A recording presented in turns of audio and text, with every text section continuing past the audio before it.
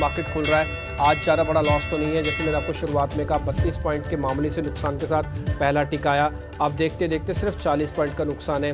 कहाँ पर आपको दिख रहा था शुरुआत में करीब 70-80 पॉइंट और कहाँ पे मार्केट में गिरावट जो है शुरुआत में जो की वो सिर्फ़ 40-50 पॉइंट की है। आज बाज़ार को दो इंपॉर्टेंट काम करने हैं। पहला, निफ्टी के लिए जो काम इंपॉर्टेंट है, वो बताता हूँ। चौबीस को रीगेन करके रखना है। ये खोना नहीं है। ये अगर खोते जाएँगे लेवल्स को तो फिर दिक्कत बढ़ेगी। फ़िलहाल अभी पचहत्तर पॉइंट नीचे आके वो लेवल हमने खो तो दिया है। लेकिन रीगेन भी हो सकता है। आई रिपीट माई सेल्फ चौबीस के ऊपर जितना आप टिकेंगे, आपकी सेहत उतनी ठीक रहेगी। दूसरा बैंक निफ्टी को। आज 136 पॉइंट की गिरावट है। कोशिश करें, ये भी 50 50 500 के लेवल को ज़्यादा दूर ना जाए। अगर ये दोनों नहीं जाते हैं तो कम से कम एक कॉन्टीन्यूटी ऑफ़ अ डैमेज है, वो रुक जाएगा। तो कॉन्टीन्यूटी ऑफ़ डैमेज दूसरा एडवांस डिक्लाइन उतना ख़राब नहीं है, जितना ख़राब आपको दिखता या होना चाहिए था। अभी भी आप देखोगे साढ़े नौ सौ शेयरों की तेज़ी है और करीब सवा सात सौ शेयर खराब है, यानी कि डिक्लाइंस के साथ आए हैं। जो थोड़े मज़बूत है या फिर इस तरह के फॉल में जो सेक्टर्स रुकते हैं, वो सेक्टर्स में आपको दिखाता हूँ। एफ़ के अंदर आपको शुरुआती बढ़त आती दिखेगी। एक मिनट के लिए जरा आईटी का इंडेक्स भी दिखाइएगा। उसके अंदर थोड़ा बहुत पोजिशनिंग आप चेक करना। एक फार्मास्यूटिकल का इंडेक्स भी दिखाइएगा। पहले आज जरा इंडेक्सेस दिखाइए। एक, मैं जो बोल रहा हूँ, सिर्फ़ प्रोड्यूसर साहब वही फायर कीजिए। एक आईटी दिखाइए जो आपको हर निशान में है। दूसरा एफएमसीजी दिखाइए जो आपको हर निशान में है। तीसरा फार्मास्यूटिकल्स दिखाना, जो ऑलमोस्ट हर निशान में आने को है। ये तीन डिफेंसिव सेक्टर्स हैं। अब आप बोलेंगे इन डिफेंसिव सेक्टर को, सर, आप क्यों नोटिस करवा रहे हो? इसलिए नोटिस करा रहा हूँ कि अगर चौबीस आठ सौ जो निफ्टी ने वापिस से रीगेन कर लिया, पचास पाँच के आसपास बैंक निफ्टी भी खड़ा है, अगर ये रीगेन वाले लेवल आ जाते हैं तो इन तीनों सेगमेंट में से शुरुआत में अच्छे ट्रेड आपको मिलेंगे और उसके बाद फिर हम आगे बढ़ेंगे। ये पाँच शेयर भी प्रोड्यूसर्स आप आपको दिखा रहे हैं रिलायंस इंडस्ट्रीज़ एचडीएफसी बैंक टी भी दिखाओ इसमें से, इन्फोसिस भी दिखाओ एल भी दिखाओ एच भी दिखाओ। जल्दी जल्दी फायर करो, सर। जो भी बैठा है प्रोड्यूसर अंदर। टीसीएस आधा परसेंट ऊपर है, इन्फोसिस भी फायर करवाओ, इन्फोसिस भी आधा परसेंट ऊपर है। और मेरे को HDFC और रिलायंस के अंदर ज़्यादा नुकसान नहीं दिखा। एचयूएल भी आधे परसेंट से ज़्यादा की मजबूती के साथ है। एलएनटी भी दिखाना, वहाँ पे कुछ गिरावट खास नहीं है। तो मेरे लिए ज़्यादा चिंता की फ़िलहाल अभी मार्केट में बात नहीं है। मैं सिर्फ़ प्राइस डिस्कवरी की वेट कर रहा हूँ कि कैसे कैसे प्राइजेस इधर से उधर घूमते हैं, लेकिन मेरे को स्ट्रक्चरली एज सच प्रॉब्लम नहीं है। एक और चीज़ नोटिस कराता हूँ आपको मैं, वो है इंडिया विक्स इंडिया विक्स पंद्रह के ऊपर है, बट ये ज़्यादा नहीं जाए पंद्रह के ऊपर। यहाँ तक आना, डराना, ये बात समझ में आती है, लेकिन अगर ये और बढ़ेगा ना तो इसका मतलब समझना कि प्रॉब्लम थोड़ी सीवियर है। तो आज ओपनिंग का जो लॉस हुआ, उस हिसाब से जो डेढ़ परसेंट आप इंडिया विक्स देख रहे हैं ना, ये हो गया एडजस्ट इसके बाद अगर इंडिया विक्स बढ़ता है तो डाटा में धीरे धीरे करके नेगेटिविटी हावी हो जा सकती है। इसके लिए आपको थोड़ा प्रिपेयर रहना भी हो सकता है। ठीक है तो जैसे मैंने आपको पहले पाँच बड़े शेयर्स दिखाए सेक्टोरियल मूव दिखाया इंडिया विक्स दिखाया। और एक चीज़ मैं, चलो लगे हाथ आपको और भी बता देता हूँ, वो आज शुरुआत में ही चेक कर लेते हैं। वह है एडवांस डिक्लाइन की रेशो चलिए मैं आपको बताता हूँ, उसमें से लॉन्ग जो रेशो है, वो करीब 40 शेयरों से ज़्यादा की है। और शॉर्ट के पास 80 शेयर है। रेशो वन की है। ज़्यादा गंभीर नहीं है। तो ये पॉइंट मेरे को सिर्फ़ आपको नोटिस कराने मैं ये नहीं कह रहा कि एग्रेसिवली मार्केट में उतराओ बट मैं ये ज़रूर कहना चाहता हूँ कि शॉर्ट करने से फ़िलहाल एक मिनट के लिए रुकना चाहिए। अगर मार्केट हील कर रहा है तो थोड़ा देखेगा ये निफ्टी का हिट मैप आपकी स्क्रीन पर है। एच और कोशिश हो रही है कि एस बी लाइफ बार बार हर निशान में आपको दिखे। इसमें सबसे ज़्यादा नुकसान ओएनजीसी का है, हिंडालको का है और टाटा स्टील का आपको पता है ग्लोबल मार्केट्स में जब भी सेल ऑफ़ आएगा तो मेटल्स के शेयर टूटते हैं। डॉलर रुपी इक्वेशंस पे मेटल के शेयर टूटते हैं और तीसरा चाइना से कोई इंपॉर्टेंट डाटा आने पर मेटल के शेयर्स टूटते हैं। मेटल्स के तीन सबसे बड़े ये प्लस और नेगेटिव वाले पॉइंट्स हैं जो मैंने आपको नोटिस करवाए हैं। एच फार्मा और एक मतलब एफएमसीजी फार्मा और एक आईटी ये डिफेंसिव इन नेचर होते हैं। जरा दिखाइए, सारे हीट मैप स्पीड से दिखाते जाइए। ये मेटल्स के शेयर्स हैं, ये हीट मैप के ज़रिए आपको मिल रहे हैं। और प्रोड्यूसर साहब, अपना नाम बोलते जाइए, जिस जिस हीट मैप को आपको दिखा रहे हैं, ताकि उसको भी हम नोटिस कराएँ। देखिए एफ़ एम से ज़्यादा हरे निशान में। इन स्पाइट ऑफ़ दिस की मार्केट के अंदर अभी भी प्रॉब्लम है, लेकिन उसके बावजूद भी तेज़ है। ये आईटी का इंडेक्स है। 50 परसेंट से ज़्यादा तेज़ आपको दिखेगा, जबकि मार्केट में प्रॉब्लम है। अभी भी हम चौबीस आठ को पकड़ने में थोड़ी मुश्किल हो रही है, लेकिन आईटी का इंडेक्स तेज़ है। अच्छी चीज़ मेरे को क्या दिख रही है? टीसीएस और इन्फोसिस का सिस्टम में खड़े रहना। अब आएगा फार्मास्यूटिकल इंडेक्स एफ़ दिखाया फिफ्टी परसेंट तेज़ था। आईटी दिखाया फिफ्टी परसेंट तेज़ था। फार्मास्यूटिकल्स देख लो 50 परसेंट ये भी तेज मिलेगा आपको। ग्लैन सिप्ला डिविस डॉक्टर रेड्डीज, इन सब में आपको हरे निशान दिखेंगे और सबसे ज़्यादा परसेंटेज में नुकसान सिर्फ़ ल्यूपिन का जो थोड़ा चला हुआ शेयर था, वैसी कोई दिक्कत नहीं इसके अंदर ग्रैंडलस इंडिया नहीं डला हुआ।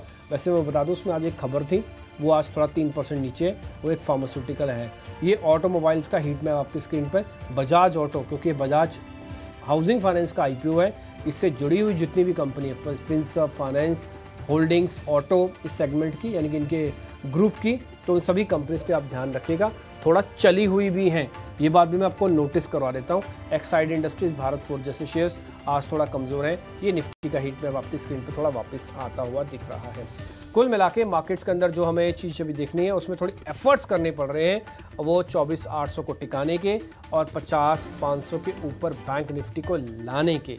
जब तक ये दोनों लेवल्स वापस से रीगेन नहीं करते, आज का लॉस बढ़ भी सकता है बट नोटिस रखिएगा ये दोनों लेवल रीगेन होने पर, फिर इंडिया वेक्स से घटने पर लॉस शायद रुक भी जाए। पूजा त्रिपाठी, आपको मेहमानों से कनेक्ट कर रही हैं ताकि फटाफट से हम ओपनिंग के सौदे ले पाएँ। चलिए अब आगे बढ़ते हैं। एक बार मिड कैप और स्मॉल कैप स्टॉक्स पर भी नज़र डाल लेते हैं। आज वहाँ पर भी कमज़ोर शुरुआत देखने को मिल रही है। मिड कैप और स्मॉल कैप इंडेक्स भी आधा आधा परसेंट नीचे हैं और इसमें प्रेस्टीज एस्टेट्स है ढाई परसेंट नीचे नैलको दो परसेंट नीचे पीएफसी दो परसेंट नीचे ऑयल इंडिया में दो परसेंट की गिरावट आरईसी सेल जैसे स्टॉक्स भी आज नीचे खुल रहे हैं। सिलेक्टेड फार्मा स्टॉक्स नीचे ग्रैनुअल्स यहाँ पर छः ऑब्जर्वेशन मिले, स्टॉक नीचे वर्कहार्ड में चार परसेंट की कमज़ोरी इस वक्त देखने को मिल रही है। तेज़ी वाले स्टॉक ज़्यादा दिखाई नहीं देंगे। इंडिया मार्ट डेढ़ परसेंट ऊपर, जेएसडब्ल्यू एनर्जी डेढ़ परसेंट ऊपर डिक्सेंटेक आईएक्स जैसे स्टॉक्स ऊपर हैं। लॉरस लैब्स में आज भी तेज़ी बरकरार है। आधा परसेंट ऊपर ये स्टॉक इस वक्त कारोबार कर रहा है। फोर्टिस और एल्कम लैब यहाँ पर मजबूती के साथ कारोबार करते हुए दिखाई दे रहे हैं। तो ये है एक्शन इस वक्त नज़र आ रहा है मिड कैप कंपनियों पर। लेकिन चलिए, अब शुरुआत करते हैं ओपनिंग ट्रेड्स की।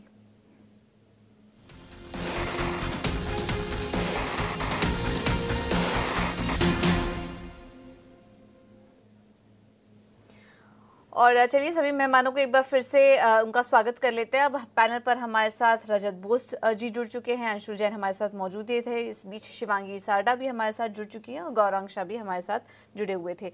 उनसे एक बार उनके पिक्स ले लेते हैं। शिवांगी, सबसे पहले आपसे शुरुआत करेंगे। Good morning. बताइए, क्या है आपके ओपनिंग ट्रेड आज के लिए?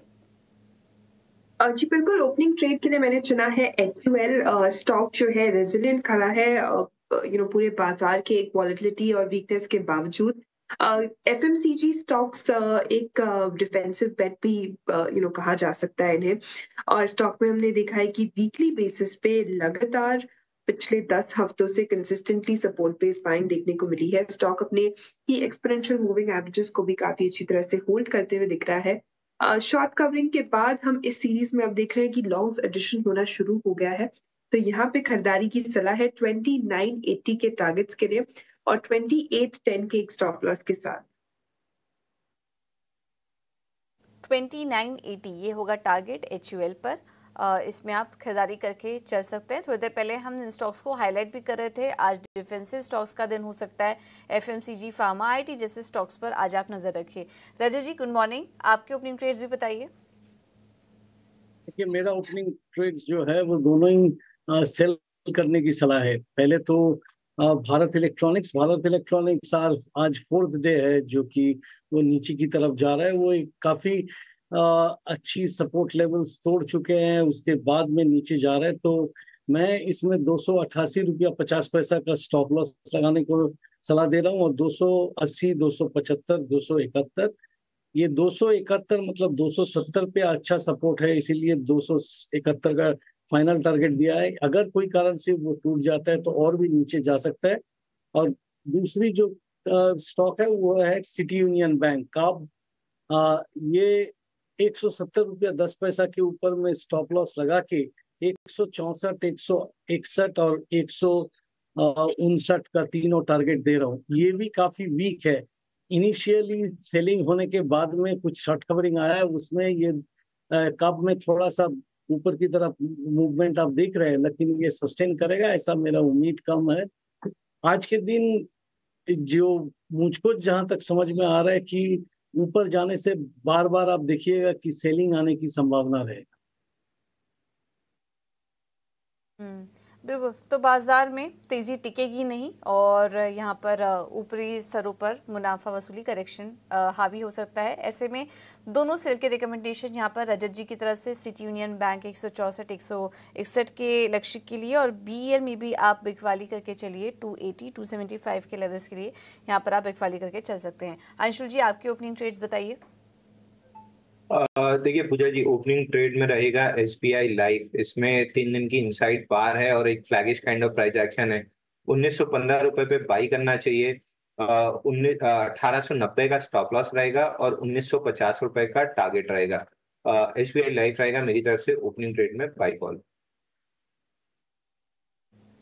ओके okay, तो एस बी आई लाइफ पर नज़र रखिए। इंश्योरेंस स्टॉक्स आज फोकस में भी रह सकते हैं। जीएसटी की बैठक होगी जिसमें कि आज इंश्योरेंस सेक्टर को लेकर भी कुछ राहत, कुछ घोषणाएँ हो सकती हैं, जिसके चलते SBI life H D F C life भी हरे निशान में और बाकी जो इंश्योरेंस कंपनियाँ हैं New India insurance G I C insurance वो भी आज हरे निशान में शुरुआती जो ओपनिंग टिक्स दिखाई दी थी आज मजबूती के साथ कारोबार करें तो ये कुछ ओपनिंग ट्रेड ट्रेडिंग आइडियाज़ आज हमारे एक्सपर्ट्स की